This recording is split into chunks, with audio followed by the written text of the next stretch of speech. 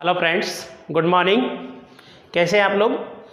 तो कल हमने पिछले वीडियो लेक्चर में देख लिया था कि स्टैंड डिस्ट्रीब्यूशन हमारा कुछ इस तरह से आया था। स्टैंड डिस्ट्रीब्यूशन हमने स्टैंड डिस्ट्रीब्यूशन देख लिया था।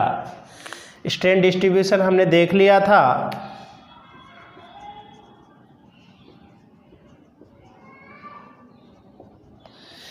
जिसमें ये बताया था कि कंक्रीट का सेक्शन फेल होते समय जो कंक्रीट जो है, कंक्रीट में मैक्सिमम जो स्ट्रेन लेवल है, कंक्रीट के फेल होते समय, वो point double zero three five से कम नहीं होना चाहिए।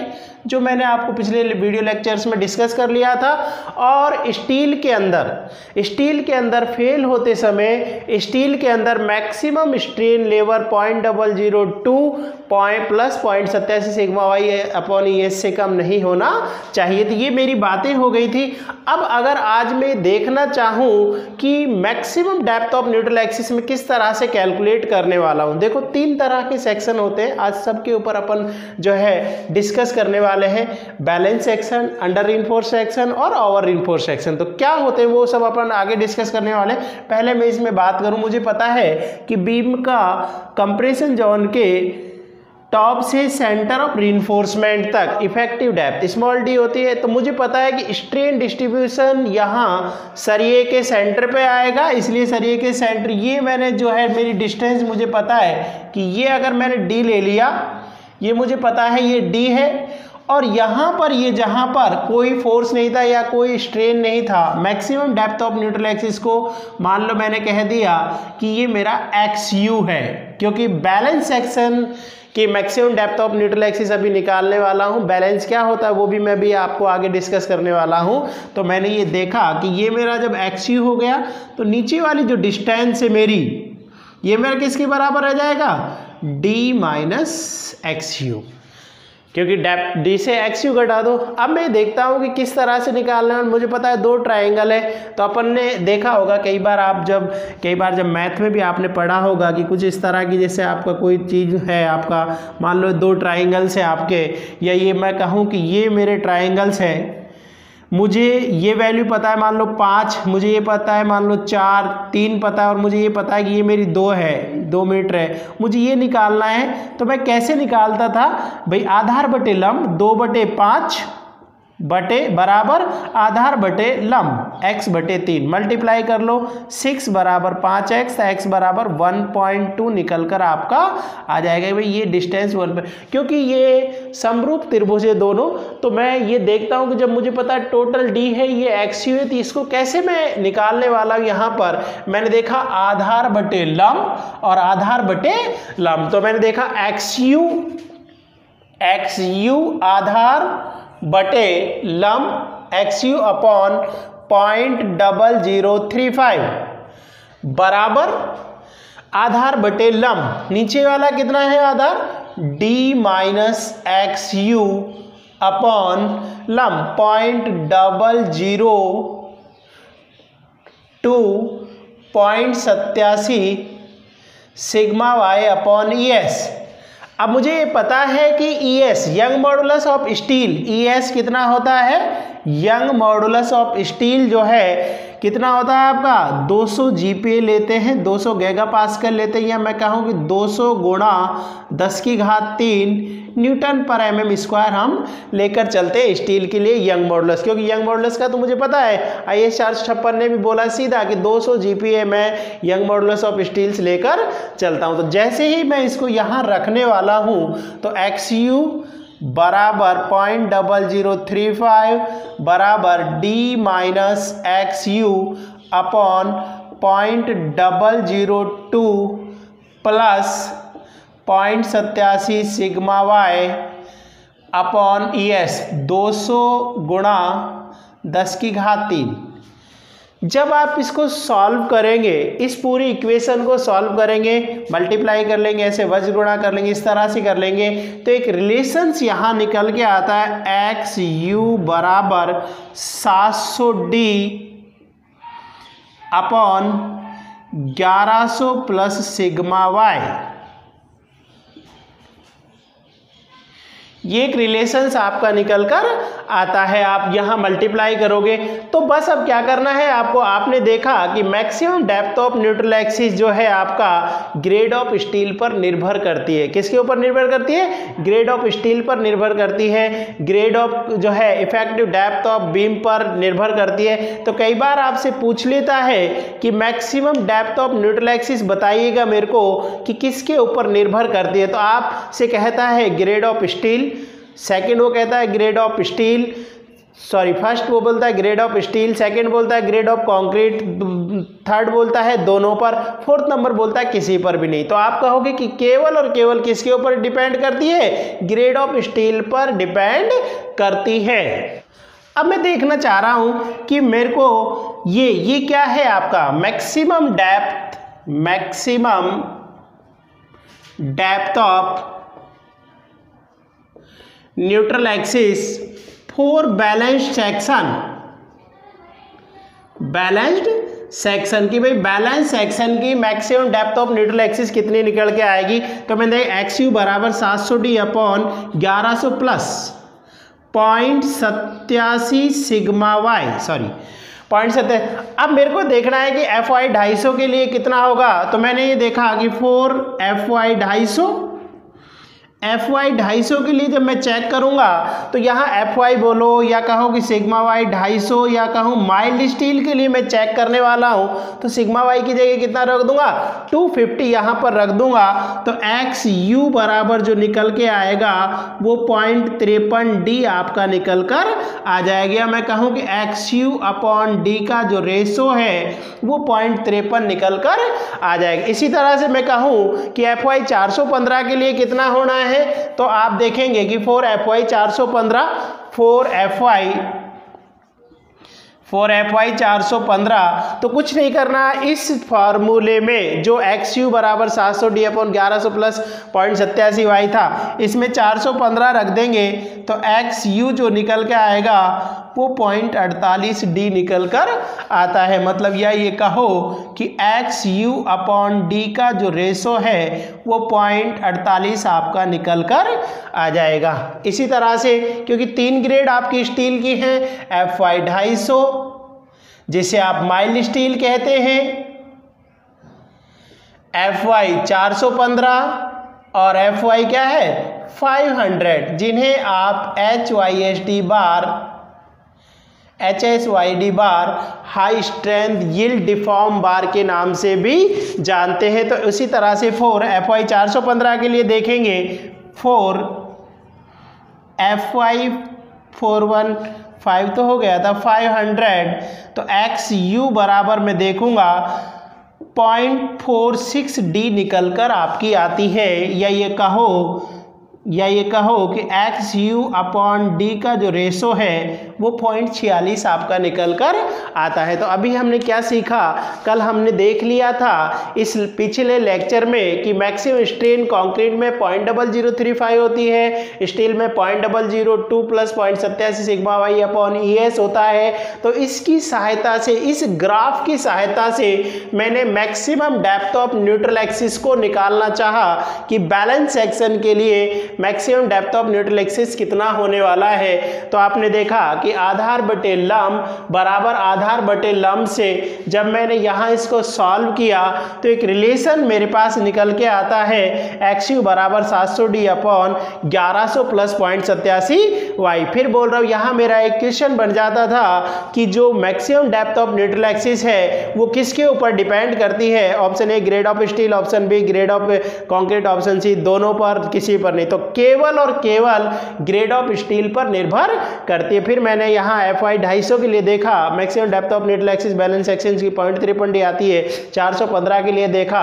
पॉइंट अड़तालीस डी आती है और 500 के लिए देखा।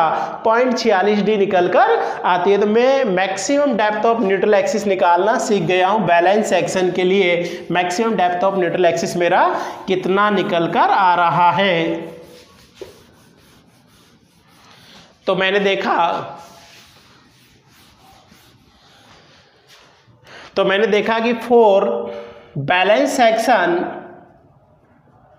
for balance section maximum depth of neutral axis for F Y Daiso X U बोल सकते हैं या एक्स एम बोल सकते हैं। Maximum depth of neutral axis को एक्स यू भी बोल सकते हैं एक्स एम भी बोल सकते हैं एक्स सी भी बोल सकते हैं। Ultimate depth of neutral axis maximum depth of neutral axis critical depth of neutral axis कोई भी वर्ड इसके लिए मैं यूज़ कर सकता हूँ। तो एक्स यू जो है, मेरा पॉइंट तिरपन डी निकल के आया था। इसने कहा for F Y four one five के लिए एक्स यू जो है पॉइंट अड़तालीस डी निकल के आया और for F Y five hundred के लिए एक्स यू बराबर पॉइंट छियालीस डी निकल कर आ गया मेरा। अब मैं आपसे बात करता हूँ कि ये तो बैलेंस सेक्शन के लिए निकल के आ गया। अब सेक्शन बेसिकली होते कितने तरह के हैं? तो ये कहता है कि कंक्रीट जो आरसीसी सेक्शन है, वो तीन तरह के होते हैं। तो ये कहता है कि टाइप्स ऑफ़ जो है RCC section types of RCC section तो ये कहता है कि आरसीसी सेक्शंस को तीन प्रकार से क्लासिफाइड किया जाता है। कितने प्रकार से क्लासिफाइड किया जाता है? तीन तरह से। तो ये कह रहा है कि RCC section RCC section are classified as three types as three types कौन कौन से टाइप्स होंगे? नंबर वन जो मैंने अभी पढ़ा कि balance section balance section number second मैंने पढ़ा under reinforce section under reinforced section और थर्ड वन इज़ पढ़ा over reinforce section over reinforced section तो आपने देखा कि इनका मतलब क्या होता है? बैलेंस सेक्शन का मतलब क्या है? अंडर रीनफोर्स सेक्शन का मतलब क्या है? और ओवर रीनफोर्स सेक्शन का मतलब क्या है? देखो, नाम से ही पता चलता है कि बैलेंस्ड सेक्शन बैलेंस सेक्शन का मतलब क्या है? ये कहता है कि ऐसा सेक्शन जिसमें दोनों क्योंकि कंक्रीट जो है, स्टील और कंक्रीट से मिलकर बनी है, स्टील भी लगा हुआ है, कंक्रीट आपका जिसमें कंक्रीट और स्टील दोनों के अंदर जो स्ट्रेसेज है, फेल होते समय उनकी मैक्सिमम परमिसिबल लिमिट तक पहुँच जाए। या ये कहो कि जो मैक्सिमम स्ट्रेन लेवल था, अभी मैंने देखा था point double zero three five और जो स्टील में आया था, point double zero two point सत्तासी सिग्मा वाई तक पहुँच जाए। अर्थात दोनों चीज़ें, स्टील और कंक्रीट, एक साथ, एक टाइम पर अगर फेल हो जाए तो इस तरह का जो सेक्शन है, वो बैलेंस्ड सेक्शन कहलाता है। कौन सा सेक्शन कहलाता है आपका? बैलेंस्ड सेक्शन कहलाता है। तो बैलेंस सेक्शन की डेफिनेशन को मैं दो तीन तरह से समझ सकता हूँ कि कौन सा सेक्शन मेरे को बैलेंस सेक्शन कहलाएगा। क्योंकि मान लो आपको कोई एक सेक्शन दे दे और वो कहे कि बताओ ये सेक्शन कौन सा होगा। ये अंडर होगा ओवर होगा बैलेंस होगा। तो सबसे पहले आप उसका देखेंगे कि ये किस कैटेगरी में सेक्शन जा रहा है। तो ये कहता है कि बैलेंस सेक्शन के लिए क्या होगा? बैलेंस्ड सेक्शन तो कौन सा सेक्शन बैलेंस सेक्शन होगा? ये कहता है कि ऐसा सेक्शन जिसमें स्टील और कंक्रीट दोनों के अंदर जो स्ट्रेसेज है, उसकी परमिसिबल लिमिट तक पहुँच जाए। कैसा सेक्शन कहलाता है? बैलेंस सेक्शन कहलाता है। तो ये कहता है at types of section at types of section in which in which the permissible in which the permissible stresses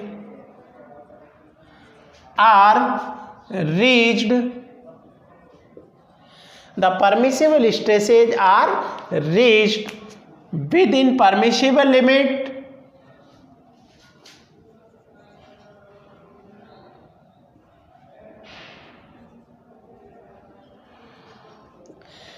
are reached simultaneously ये बहुत इंपॉर्टेंट वर्ड है। साइमेंटलियस साइमेंटियसली का मतलब क्या है? एक साथ एक साथ पहुँच जाए। Are reach simultaneously with in permissible limit उनकी परमिसिबल लिमिट तक। At the time of at the time of failure at the time of failure. क्या कहना चाह रहा है कि ऐसा सेक्शन जिसमें उस सेक्शन को फेल होते समय जो स्ट्रेसेज है, एक साथ उनकी परमिसिबल लिमिट तक एक साथ पहुँच जाती हो, क्या कौन सा सेक्शन कहलाता है? बैलेंस सेक्शन कहलाता है। या मैं क्या कह सकता हूँ, इसको दूसरी तरह से भी बोल सकता हूँ। ऐसा सेक्शन जिसमें स्ट्रेन उनकी परमिसिबल लिमिट तक। यहाँ स्ट्रेस की बात कर रहा था स्ट्रेन वाइज भी बोल सकता हूँ कि स्ट्रेन जो लेवल है या मैक्सिमम जो स्ट्रेन लेवल है, एक साथ दोनों में उनकी परमिसिबल लिमिट तक पहुँच जाए। बैलेंस सेक्शन कहलाता है। अब मुझे कैसे पता लगेगा कोई बैलेंस सेक्शन आपका कि ये बैलेंस है अंडर है या ओवर है? तो मैं देखूँगा कि मैं, जब मैं उस कंक्रीट मान लो मेरे को एक कोई ये मैं बीम दे दिया गया मुझे इसमें कहे भाई, इसमें कुछ सरिये लगे हुए हैं, तीन सरिये लगे हैं आपके चार सरिये लगे हैं। बताओ ये कौन सा सेक्शन होगा? तो मैं ये देखूँगा कि force of compression force of compression बराबर फोर्स ऑफ़ टेंशन करके देखूँगा। फोर्स ऑफ़ कंप्रेशन पॉइंट छत्तीस sigma C K B in to x जो मैं करा चुका हूँ आपको पिछले lecture force of tension point सत्यासी sigma Y upon H T होता है। तो यहाँ से मैं एक्स निकालूँगा एक्स एक्स क्या है कि इस सेक्शन की डेप्थ ऑफ़ न्यूट्रल एक्सिस कहाँ से गुजर रही है? तो मैंने देखा एक्स जब मैं निकालूँगा तो point सत्यासी sigma Y A S T upon point छत्तीस सिग्मा सी के बी। यहाँ से इस सेक्शन की डेप्थ ऑफ़ न्यूट्रल एक्सिस निकल के आएगी कि वास्तव में इसकी डेप्थ ऑफ़ न्यूट्रल एक्सिस कहाँ से निकल कुछ नहीं किया मैंने। फोर्स ऑफ़ कंप्रेशन देखो पॉइंट छत्तीस। पॉइंट छत्तीस कॉन्स्टेंट में सिग्मा सी के ग्रेड ऑफ़ कॉन्क्रीट आपको क्वेश्चन में गिवन करेगा वो। बी इसकी विड्थ ऑफ़ बीम है। एक्स इसकी डेप्थ ऑफ़ न्यूट्रल एक्सिस है, जहाँ से निकल रहा होगा। बराबर point सत्यासी sigma Y A S T जो मेरे को पॉइंट सत्यासी सिग्मा वाई डिज़ाइन स्ट्रेस था S T area of steel इसको मैंने देखा तो यहाँ से एक्स निकलकर आ गया इस सेक्शन की डेप्थ ऑफ़ न्यूट्रल एक्सिस कहाँ से निकल रही है? अब इसे मैं check for X M check for X M X M मुझे पता ही है कि भाई मैं अगर एफ़ वाई ढाई सौ है तो मैंने देखा था पॉइंट तिरपन डी लूँगा। अगर एफ़ वाई चार सौ पंद्रह है तो पॉइंट अड़तालीस डी लूँगा। और एफ़ वाई पाँच सौ है तो पॉइंट छियालीस डी आपका ले लेंगे। तो मैंने उस सेक्शन का एक्स निकाल लिया। मुझे उस सेक्शन का ग्रेड ऑफ़ स्टील के अनुसार एक्स एम पता है। तो ये कहता है कि बैलेंस सेक्शन के लिए for balanced section for balanced section ये कहता है x बराबर एक्स एम मतलब x यहाँ पर, ये जो x है, एक तरह से इसकी actual depth of neutral axis की वास्तव में कहाँ से निकल रही है? Actual depth of neutral axis है। Actual depth of neutral axis है। तो आप कहोगे कि यदि किसी सेक्शन की actual depth of neutral axis maximum depth of neutral axis बोलो, या critical depth of neutral axis बोलो, या ultimate depth of neutral axis के बराबर है। तो इस तरह का जो सेक्शन है, वो कौन सा सेक्शन कहलाता है? बैलेंस्ड सेक्शन कहलाता है। वापिस सुन लें बैलेंस सेक्शन को कई तरह से मैं डिफाइन कर सकता हूँ। मैंने कहा एक्स बराबर एक्स है। मतलब यदि किसी सेक्शन की actual depth of neutral axis critical depth of neutral axis के बराबर है, या दोनों कंसाइड कर रही है। कंसाइड का मतलब क्या है? एक ही पॉइंट से निकल रही है। मैं ये कहता हूँ कि यहीं पर तो इसकी एक्स एम आनी चाहिए थी और यहीं पर इसकी एक्स है। एक ही पॉइंट पर कंसाइड कर जाती है। तो इस तरह का जो सेक्शन है, वो बैलेंस सेक्शन कहलाता है। या मैं कहूँ कि ऐसा सेक्शन जिसमें कंक्रीट और स्टील दोनों के अंदर जो परमिसिबल स्ट्रेन है या जो स्ट्रेन लेवल है, उसकी परमिसिबल लिमिट तक पहुँच जाए। या मैं कहूँ स्ट्रेस जो है, उसकी परमिसिबल लिमिट तक एक साथ पहुँच जाए। तो ये जो सेक्शन है बैलेंस सेक्शन कहलाता है। अब मैं देखता हूँ अंडर रीनफोर्स सेक्शन कि भाई अंडर रीनफोर्स सेक्शन कौन सा सेक्शन होगा? तो मैंने देखा कि अंडर रीनफोर्स सेक्शन कौन सा होगा? सेकंड मैंने कहा under reinforce section under reinforce section under reinforced section नाम से ही पता लग रहा है कि सरिया कम है। मतलब अंडर रिनफोर्स मतलब सरिया कम है। अब सरिया कम का मतलब ये नहीं है कि जो कोड ने बोल रखा है उससे कम है। इसका मतलब जितना लोड उसको रजिस्ट कराना था ना, उतना तो सरिया है। लेकिन कंक्रीट को एक्सेस कर दिया गया है। मान लो मैं ये कहूँ कि मैं 500 किलो न्यूटन लोड मेरे को रजिस्ट कराना है। तो सरिया इतना है जो 500 को रजिस्ट कर सकता है। लेकिन कंक्रीट का जो सेक्शन है, उसका साइज़ बढ़ा दिया। वो हो सकता है 600 किलो न्यूटन लोड ले ले, वो हो सकता है 700 किलो न्यूटन लोड क्योंकि बैलेंस तो इस तरह का रहेगा कि अगर सरिया 500 लेगा तो कंक्रीट भी 500 पर ही फेल हो जाएगा। अंडर में क्या होगा कि कंक्रीट का जो सेक्शन है, उसका साइज़ बढ़ा दिया जाएगा।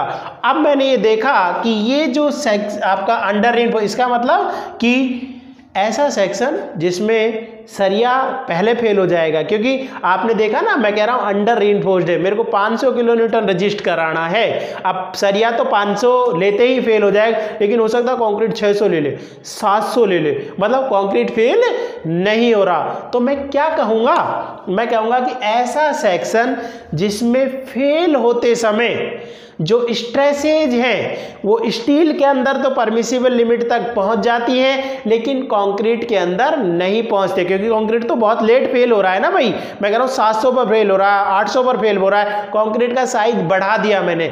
तो मैं कहता हूँ कि ऐसा सेक्शन जिसमें परमि जो स्ट्रेसेज है स्टील के अंदर परमिसिबल लिमिट तक पहुँच जाती हो या कंक्रीट के अंदर परमिसिबल लिमिट तक नहीं पहुँचती हो अंडर रेनफो सेक्शन कहलाता है। या स्ट्रेन वाइज देख लो, वो कहता है कि ऐसा सेक्शन जिसमें स्ट्रेन जो है स्टील के अंदर परमिसिबल लिमिट तक पहुँच जाता है फेल होते समय में, लेकिन कंक्रीट के अंदर नहीं पहुँचता है। क्या कहलाता है आपका?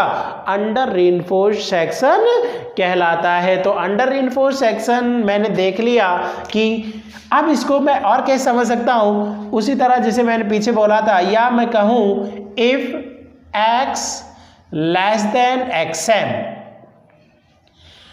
X less than X M का मतलब क्या है कि actual depth of neutral axis कम होगी maximum depth of neutral axis ज़्यादा होगी। क्योंकि भाई आप देखो ना कॉम्प्रेसिव फोर्स ज़्यादा रजिस्ट कर सकती है। कंक्रीट का सेक्शन बड़ा है तो जिधर ज़्यादा फोर्स रजिस्ट करने की क्षमता थी न्यूट्रल एक्सिस उधर की तरफ़ ही क्या हो जाती है? शिफ्ट हो जाती है। जिधर एक तरह से ज़्यादा फोर्सेज होगा, उधर की तरफ़ आपका शिफ्ट हो जाती है। तो मैंने ये देखा कि अगर मैं बात करता हूँ अंडर री सेक्शन के लिए तो ये एक्सएम अगर है एक्सएम का मतलब maximum depth of neutral axis अगर ये है तो इसका जो actual depth of neutral axis होगा, वो कुछ इस तरह से आपका होना है। तो ये जो सेक्शन है, क्या कहलाता है?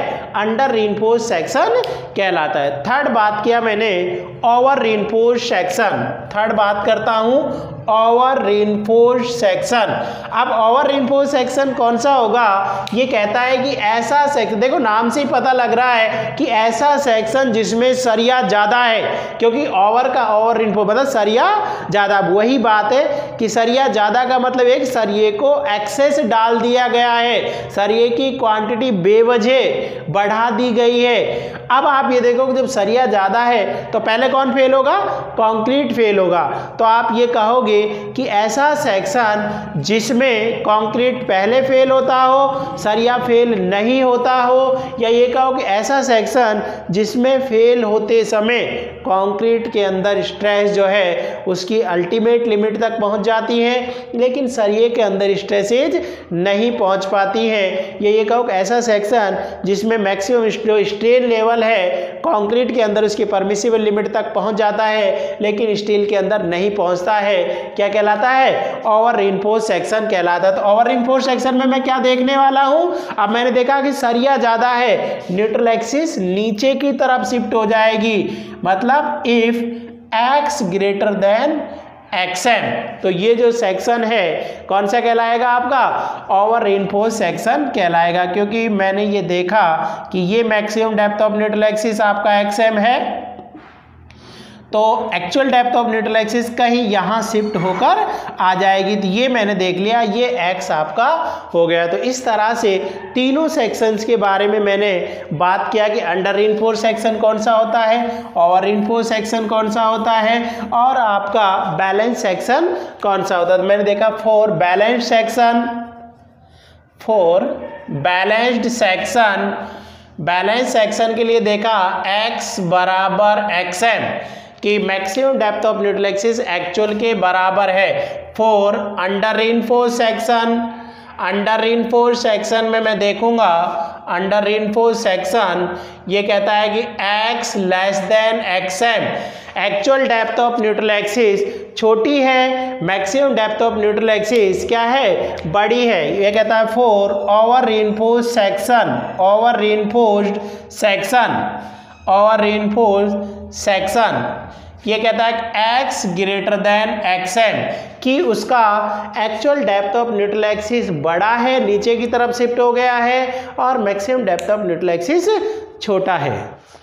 तो इससे आगे फिर हम सीखेंगे कि मोमेंट कैरिंग कैपेसिटी ऑफ़ जो है सिंगली इन्फोर्समेंट किस तरह से कैलकुलेट करते हैं, आपका जो है लीवर आर्म किस तरह से होगा। अगर ये वीडियो लेक्चर आपको पसंद आ रहे हो तो प्लीज़ लाइक और शेयर कर दें और जो है अपने चैनल को सब्सक्राइब कर लें, ताकि टाइम टू टाइम आपके पास जो है वीडियो लेक्चर्स की इन्फॉर्मेशन आती रहे। Thank you